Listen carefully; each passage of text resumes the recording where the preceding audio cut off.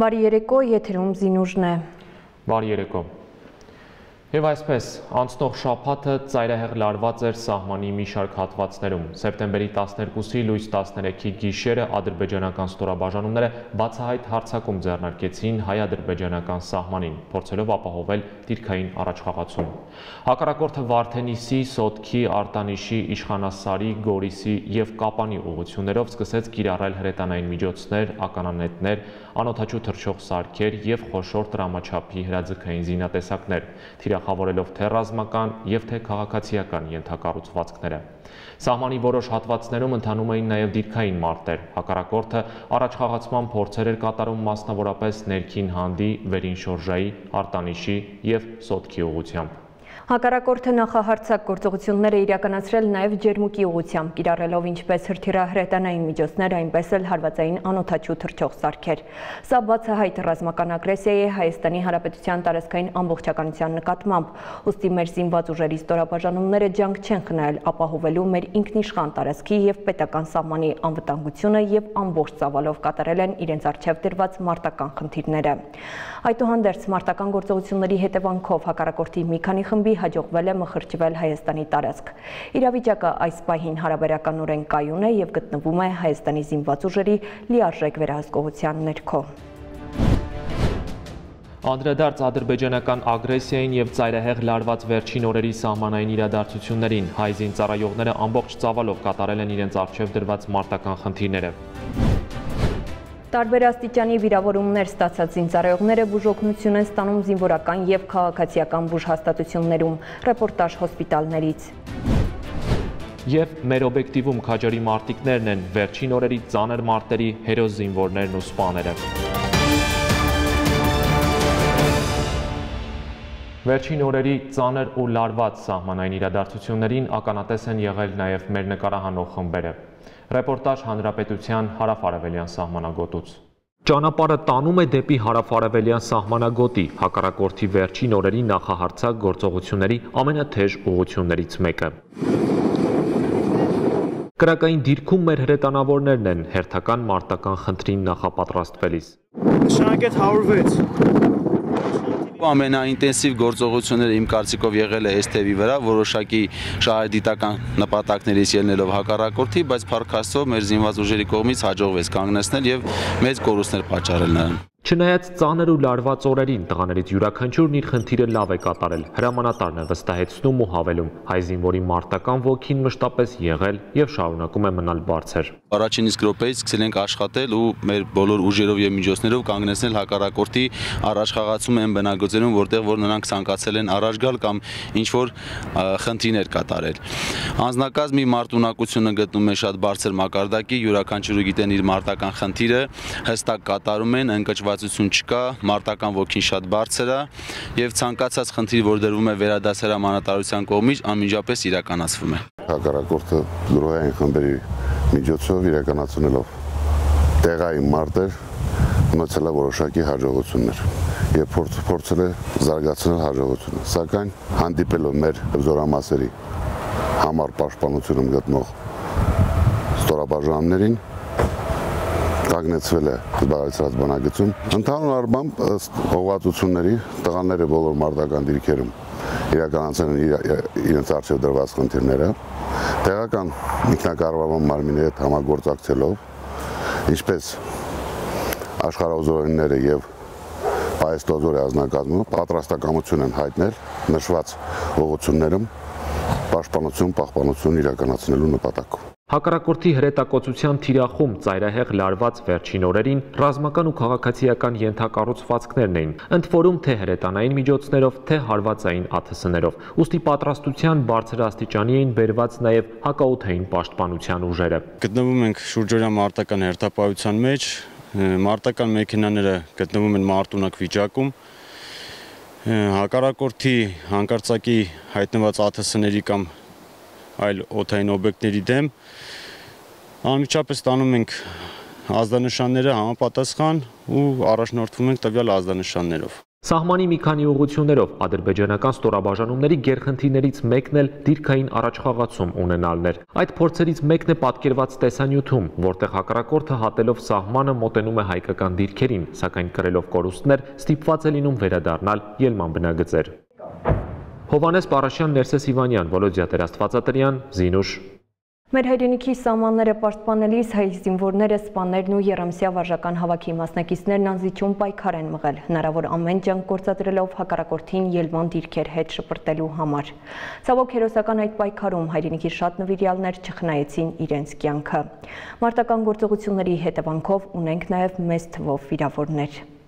Զինուժի նկարահանող խումբը այցելել է մարտական գործողությունների ընթացքում վիրավորում ստացած եւ այս պահին տարբեր հոսպիտալներում ապակինվող զինծառայողներին։ Նրանցից շատերն իրենց մարտական խնդիրը կատարել են նաեւ վիրավոր վիճակում, չեն երկնչել եւ այժմ էլ ձգտում են օր առաջ ապակինվել ու վերադառնալ առաջնագից, միասնական ուժերով լծվելու հայրենիքի պաշտպանության սուրբ առաքելությանը։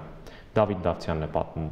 Հակառակորդի այս հարցակումներին դիմակայելիս վիրավորում ստացած զինծառայողներին դժվարությամբ, սակայն արագորեն դուրս են բերել մարտական գործողությունների շրջանից եւ հասցրել զինվորական մոտակա հոսպիտալ։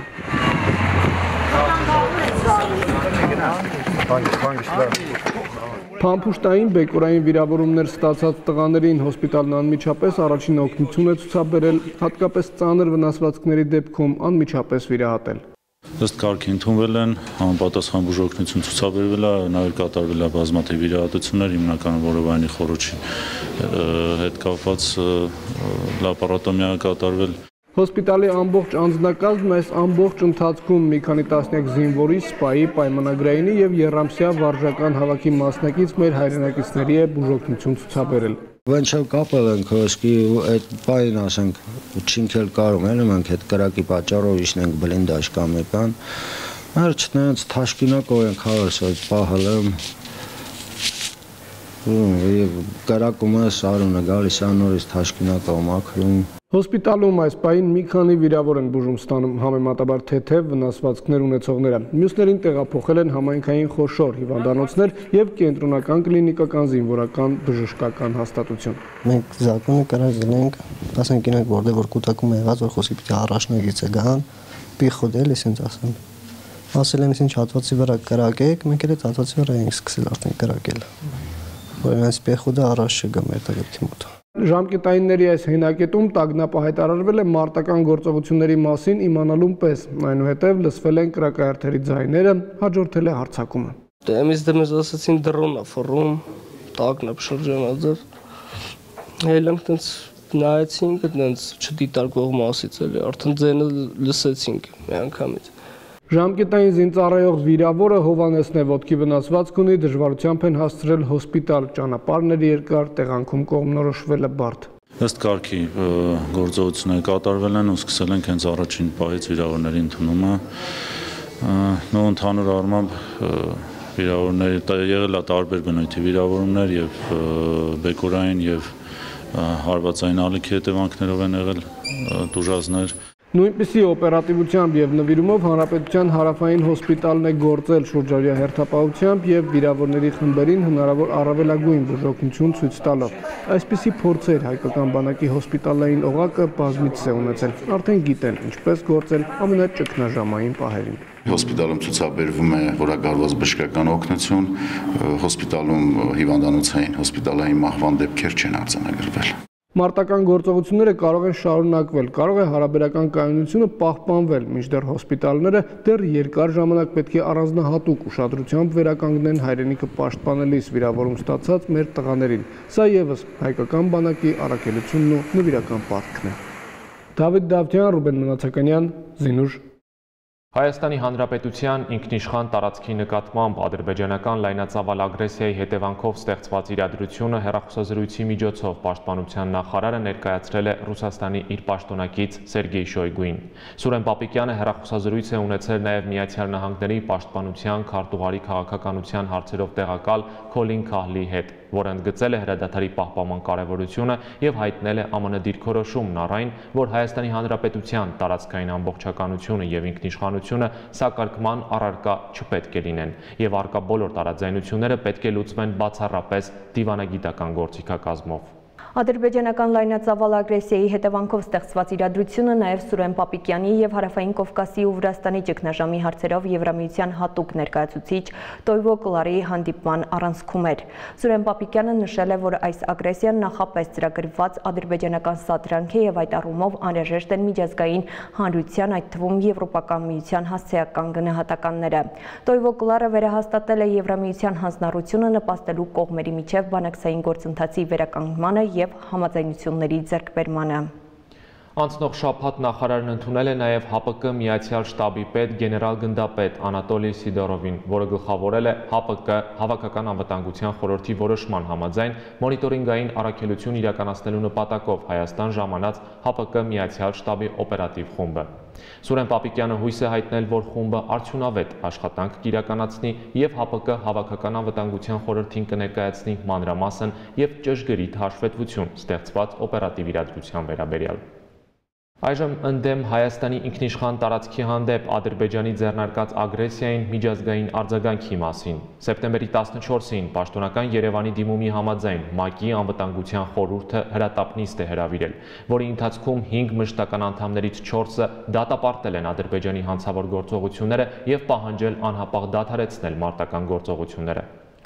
Ադրբեջանի սանձարձակ գործողությունների կապակցությամբ մտահոգություններ են հայտնել նաև առանձին երկրներ։ Հասցեական մեղադրանքներ են հնչել պաշտոնական Բաքվի հասցեին Միացյալ Նահանգների մի շարք կոնգրեսականների եւ սենատորների կողմից։ Նաև Կիպրոսի Հանրապետությունն է դատապարտող հայտարարություններ տարածել։ Միջազգային արձագանքներն ամփոփել է Զարուհի Ռշտունին։ Հայաստանի դիմումի հիման վրա հրավիրված ՄԱԿ-ի անվտանգության խորհրդի հրատապ նիստում կառույցի գլխավոր քարտուղարի Եվրոպայի, Կենտրոնական Ասիայի եւ Ամերիկայի գծով տեղակալ Միրոսլավ Յենչան ողջունել է սեպտեմբերի 14-ին Հայաստանի եւ Ադրբեջանի զինված ուժերի շփման գծում հրադադար հաստատելու մասին համաձայնությունը եւ հույս հայտնել, որ զինադադարը կպահպանվի։ ՄԱԿ-ում Ռուսաստանի Դաշնության մշտական ներկայացուցիչ Վասիլի Նեբենզյանն էլ հայտարարել է, որ հայ-ադրբեջանական հարաբերությունների կարգավորման հիմքը երակողմ համաձայնագրերն են, որոնք պետք է իրականացվեն։ Աշխարհակաղակական մրցակցությունը կարող է հայ-ադրբեջանական հարաբերությունների կարգավորման հարցում միայն խանգարել։ Կարևորն այժմ կրակի դադարեցումն է, նշել է ռուսաստանցի դիվանագետը։ Հայ-ադրբեջանական հարաբերությունների կարգավորման հարցում չկա ռազմական լուծում, կոչ են կանում վերադառնալ բանակցությունների սեղանի շուրջ։ Իր ելույթում հայտարարել է ՄԱԿ-ում Միացյալ Նահանգների ներկայացուցիչ Ռիչարդ Միլզը եւ պատրաստակամություն հայտնել խթանել երկխոսությունը Հայաստանի եւ Ադրբեջանի միջև ԵՀԿ-ի եւ գործընկերների հետ համակարգման միջոցով։ Ֆրանսիայի ներկայացուցիչն էլ կոչ արել Ադրբեջանին հետ քաշել իր զորքերը ելման դիրքեր, շեշտելով, որ Հայաստանի տարածքային ամբողջականությունը պետք է պահպանվի։ Ֆրանսիան կշարունակի աջակցել տարածաշրջանում տևական խաղաղության հասնելու գործընթացին, ասել է Նիկոլա դե Ռիվիերեն։ Ավելի կոշտ է արտահայտվել հնդկաստանցի դիվանագետը, ագրեսոր կողմին կոչ են կանում անհապաղ դադարեցնել բախումները եւ զսպվածություն ցուցաբերել։ Այս գործողությունները լուրջ սպառնալիք են տարածաշրջանի խաղաղության եւ կայունության համար, հայտարարել է ՄԱԿ-ում Հնդկաստանի ներկայացուցիչ Ռուչիրա Կամբոջը եւ հավելել, որ անվտանգության խորհուրդը չի կարող լռել ու թույլ տալ իրավիճակի վատ թարացում։ Նորվեգիայի ներկայացուցիչն էլ իր ելույթում շեշտել է, որ ռազմական ուժի կիրառումը հակասությունների լուծման համար անընդունելի է եւ ողջունել Միացյալ Նահանգների եւ Եվրամիության ջանքերը բանակցությունների առաջխաղացմանն աջակցելու ուղղությամբ։ Իրանի Իսլամական Հանրապետությունը չի հանդուրժի Հայաստանի եւ Ադրբեջանի ճանաչված սահմանների որևէ փոփոխություն, հայտարարել է Իրանի նախագահը։ Էբրահիմ Ռայիսի նշել է, որ տարածաշրջանում խաղաղության, կայունության եւ անվտանգության հաստատումը շատ կարեւոր է Իրանի համար եւ հավելել, որ կողմերը պետք է լուծեն տարաձայնությունները երկխոսության միջոցով եւ խաղաղ ճանապարհով միջազգային իրավունքի հիման վրա։ Միացյալ Նահանգների Սենատի անդամ Քրիս Վան Հոլենը հայտարարել է, թե Վաշինգտոնը պետք է պատասխանատվության ենթարկի Բաքվին։ Ադրբեջանը, որը ընդունել է, որ ինքն է հարվածներ հասցրել, պետք է անհապաղ դադարեցնի այդ հարձակումները Հայաստանի վրա, իսկ Միացյալ Նահանգները պետք է պատասխանատվության ենթարկի Ադրբեջանին։ Այս հակամարտությունը չի կարող լուծվել բռնությամբ, գրել է սենատորը իր Twitter-յան էջում։ Ամերիկացի կոնգրեսական N. Ershow Twitter-յան իր միկրոբլոգում գրել է, որ ադրբեջանական անօթաչու թռչող սարքերի մահացու հարվածները 2020 թվականի հաստատված հրադադարի աղաղակող խախտում են։ Վճռականորեն դատապարտում եմ Ադրբեջանի ագրեսիան եւ պետքարտուղարությանը կոչանում օգտագործել բոլոր արկա դիվանագիտական գործիքները լարվածության հետագա աճը կանխելու համար։ Ներառյալ Ադրբեջանին Միացյալ Նահանգների ռազմական օգնության դադարեցումը գրել է կոնգրեսականը։ Մի խումբ կոնգրեսականների թվում Ադրբեջանի ագրեսիան դատապարտող հայտարարությամբ հանդես է եկել նաև ներկայացուցիչների պալատի անդամ Թոք Մաքլինթոքը եւ շեշտել, որ Հայաստանի վրա Ադրբեջանի վերջերս կատարած հարձակումը անընդունելի է։ Կոնգրեսական Ադամ Շիֆը Հայաստանի դեմ Ադրբեջանի ագրեսիան դատապարտող բանաձև է ներկայացրել ներկայացուցիչների պալատ։ Ադրբեջանը պետք է դադարեցնի հարձակումները եւ չհաբեկի անմեղ հայ քաղաքացիներին, իսկ Միացյալ Նահանգներն ու նրա դաշնակիցները պետք է անվերապահորեն դատապարտեն Ադրբեջանի գործողությունները։ Կոնգրեսի հայկական հարցերով խմբի համանախագահները բանաձևի ուղերձ են հղել, որում նշվում է, որ խստորեն դատապարտում են ադրբեջանական ուժերի մահաբեր հարձակումները Հայաստանի ինքնիշխան տարածքի վրա։ Ադրբեջանական բռնության այս բացահայտ բռնկումը ցույց է տալիս, թե որքան լկտի է դառնում Ալիևի ռեժիմը, երբ նրա չպատճառաբանված ագրեսիային միջազգային հանրությունը խուլ լրությամբ եւ կեղծ երկիմաստություններով է պատասխանում, ինչը թույլ է տալիս Բաքվին շարունակել եւ ընդլայնել իր հարձակումները, Կոչ են կանում Բայդենի վարչակազմին եւ պետքարտուղարությանը միանշանակ դատապարտել Ադրբեջանի գործողությունները եւ անհապաղ դադարեցնել ցանկացած օգնություն Ալիևի ռեժիմին։ Մենք ամուր կանգնած ենք Հայաստանի ժողովրդի կողքին աջակցելով նրանց տարածքային ամբողջականությանը եւ խաղաղության ու ազատության իրավունքին, ասվում է կոնգրեսականներ Ադամ Շիֆի, Ֆրենկ Փալոնեի, Գաս Բիլիրակիսի, Ջեքի Սփայերի եւ Դեվիդ Վալադաոյի հայտարարության տեքստում։ Եվրոպական խորհրդարանի Գերմանացի падգամավոր Մարտին Զոնեբորն էլ քննադատել է Եվրամիությանը կշտամբել Եվրոպական հանձնաժողովի նախագահին Հայաստանի վրա հարձակված Ադրբեջանի ղեկավար Ալիևի հետ համագործակցության համար։ Եթե նույնիսկ գերմանական ռազմամիջոցները լուր են նավթային բռնապետությունը, որին դուք բնութագրել եք, վստահելի գործընկեր հարձակվել է ժողովրդավարական Հայաստանի վրա։ Ալիևն առաջին տեղում է միայն երբ խոսքը վերաբերում է քրիստոնեա-դեմոկրատական միության կորումպացված գործիչներին կաշառելուն, շեշտել է գերմանացի падգամավորը։ Հայ-ադրբեջանական սահմանին ռազմական գործողությունների կապակցության մտահոգություն է հայտնել Կիպրոսի արտգործնախարարությունը եւ դատապարտել Ադրբեջանի հարձակումը։ Կիպրոսի հանրապետությունն աջակցում է միջազգային իրավունքի հիման վրա վեճերի խաղաղ կարգավորմանը, ասվում է Կիպրոսի արտաքին գերատեսչության պաշտոնական հաղորդագրության տեքստում։ Զարուհի Ռշտունի, Զինուշ Ադրբեջանի հանցավոր գործողության հետևանքով Հայաստանի ինքնիշխան տարածքում տեղի ունեցած ավերածությունների եւ վնասներին տեղում ծանոթանալու նպատակով մեր երկրում հավատարմագրված դիվանագիտական ներկայացուցչությունների եւ միջազգային կազմակերպությունների ղեկավարներն այցելել են Ջերմուկ։ Զինված ուժերի գլխավոր շտաբի պետ պաշտպանության նախարարի առաջին տեղակալ գեներալ-մայոր Էդվարդ Ասերյանը մանրամասն ներկայացրել է քաղաքացիական ենթակառուցվածքներին հասցված վնասները, հայ զինծառայողների եւ նրանց դիերի խոշտանգումներն ու տեղեկություններ հայտնել օպերատիվ իրավիճակի վերաբերյալ։ Օրեր առաջ հակառակորդի կողմից ինտենսիվ հրետակոծության արդյունքում Ջերմուկ քաղաքում վնասներ են կրել թե ռազմական նշանակության օբյեկտներ եւ թե քաղաքացիական ենթակառուցվածքներ։ Ընդ որում առաջին հրթիռային հարվածների ժամանակ քաղաքում են գտնվել թե զբոսաշրջիկներ, թե տեղի բնակիչներ։ Այս պահին բոլորը տարհանվել են, քաղաքում միայն զինվորականներն են։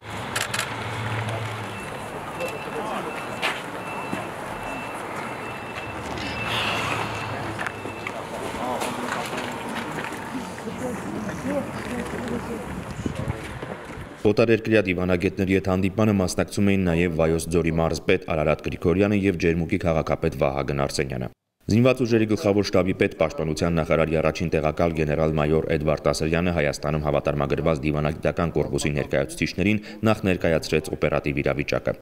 Ադրբեջանի Հանրապետության զինված ուժերը կիրառելով հարվածային ԱԹՍ-ներ, ռեակտիվ հրետանի եւ հրետանային համակարգեր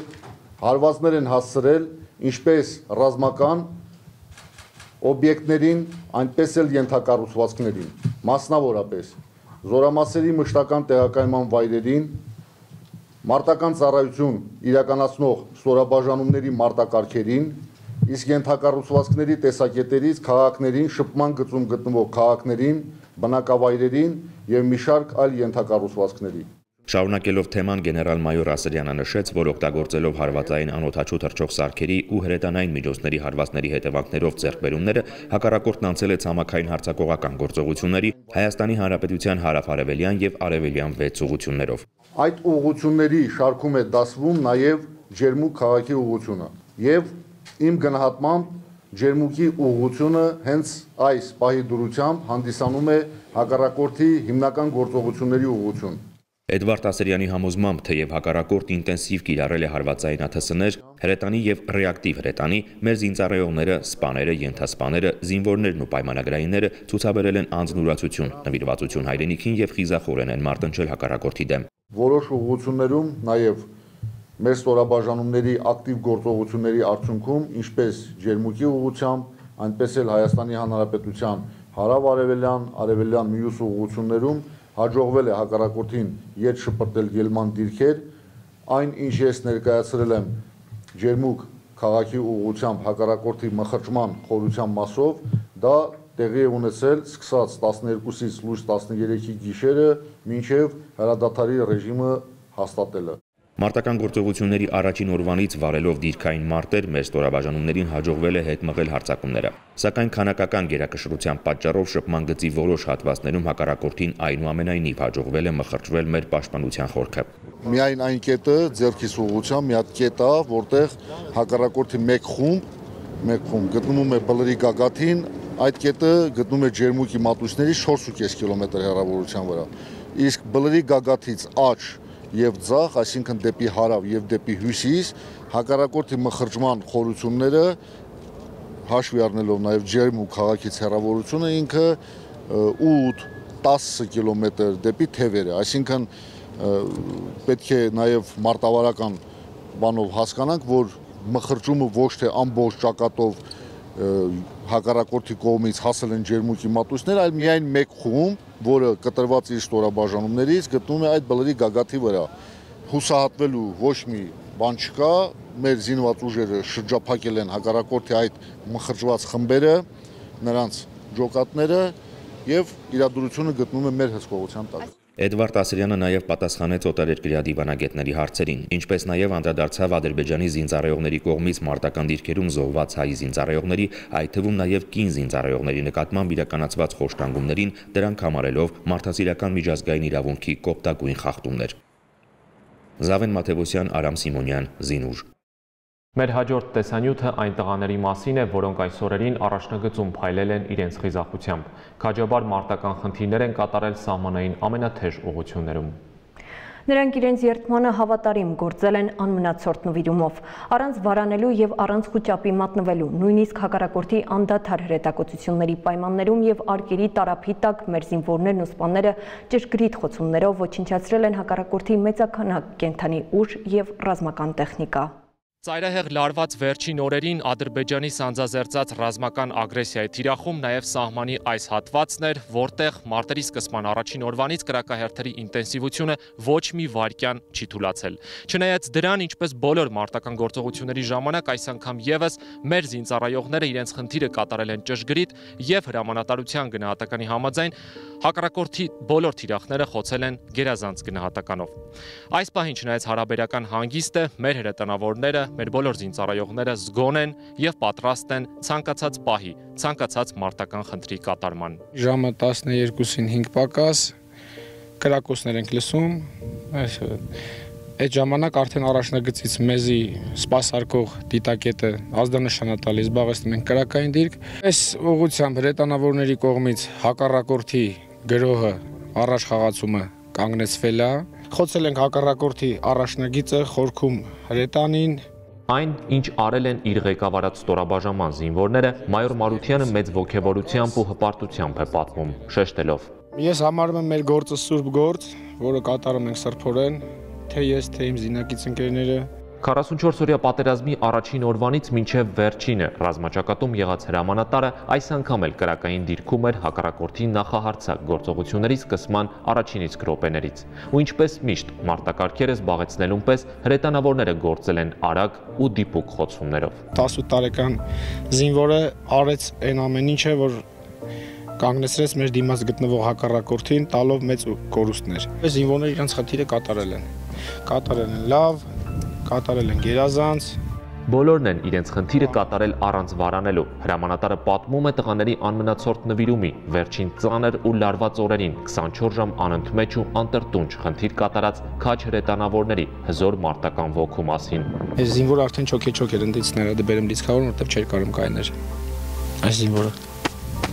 Հրամանատարը բնութագրում է Սերժանտ Հարությունյանին, որն այս մարտերի ընթացքում նույնպես փայլուն է իրեն դրսևորել։ Ամենասկզբից էլ նշանակետերը շատ-շատ են եղել, պետք է միանգամից աղին սկսենք խոցել, որովհետև ամեն նշանակետը իրենց լուրջ վտանգ էր ներկայացնում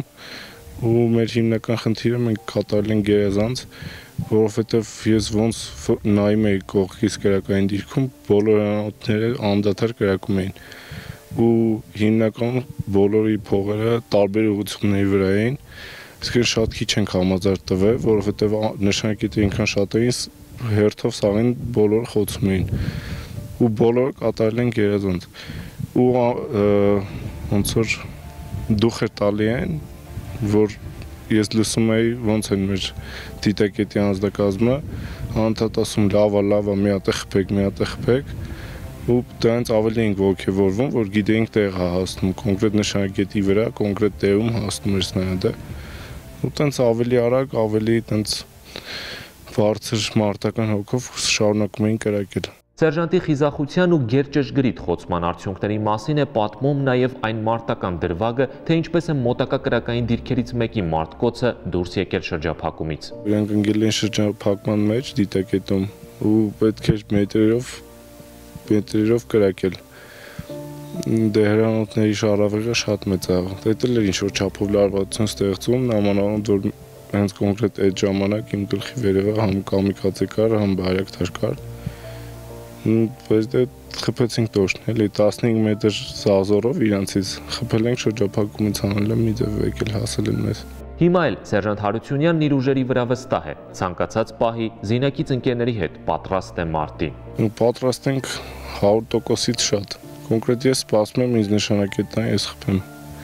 Որտեղ վստահ եմ կխփեմ, վստահ եմ որ շատ շատ է դրանից դասեր կքավեն։ Հիմնականում երկրորդ գրակոցից հետո սա արդեն բայվոյ ոչ մի բանի մասին չեն մտածում, ով որ նայած պետքա բերի իրանք մտածում են շուտ արագ բերեն, որ պետքա նշանարվի, շատ արագ նշանարվի ու տենց ժամանակ էլ չես ունում մտածես կամ քեզ կխոցեն կամ ինչ կլինի քո հետ չես մտածում, զուտ մտածում ես քո խնդիրը շուտ կատարես։ Քաչ հրետանավորների մարտական սխրանքներն է ամփոփում նաև սպա հոկեբանը, որը նույնպես մարտադաշտում էր տղաների կողքին հակառակորդի առաջին արցակած հրթիռի ձայնը լսելուն պես մի հատ հետաքրքիր բան ասեմ, այդ սկզբնական գործընթացում, որ հրետակոծություն էր տեղ ունենում եւ զորքը պետք է մարտակարգի բերվել արդեն ուղարկվել այդ գործողությունների, մեր զինծառայողների դե չեմ պատկերացնում, դες բան, ասենք 4 հոգու տանում էին գործողությունների այն մի ուշ 4 հոգին կռիվ էին անում, թե չէ մենք պետք է գնանք։ Հայոց զինվորը գիտակցում է, որ իր եղբայրների, իր այսպես ասած հերոսների կիսա թողած գործն է կատարում։ Ինքը գիտի, որ պետք է Մոնթեի կիսա թողած գործը կատարի, ինքը գիտի, որ Վարդանի խոսքերը իմացյալ անմահություն է։ Այս ամենը ինքը ի գիտություն է ընդունել եւ այսօր մենք փաստ տեսնում ենք իրանց գործողություններով։ Հովանես Պարաշյան, Ռուբեն Մնացականյան, Զինուշ